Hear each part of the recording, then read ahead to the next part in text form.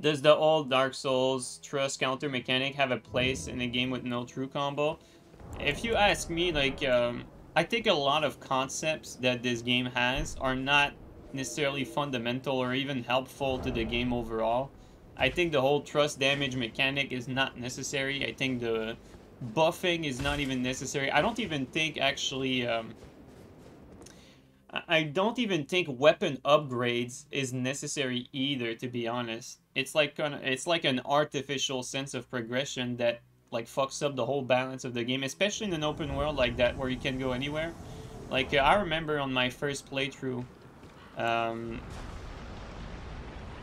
on my first playthrough, I've got to areas where I was either overgeared or undergeared. And in an open world, like if it was a linear game, you can you can more uh, easily kind of justify weapon upgrades. But in a game where it's open world and you can go in any direction, the whole weapon upgrade kind of falls apart. Because you need to have the player have the same kind of expected damage output and damage taken in every direction.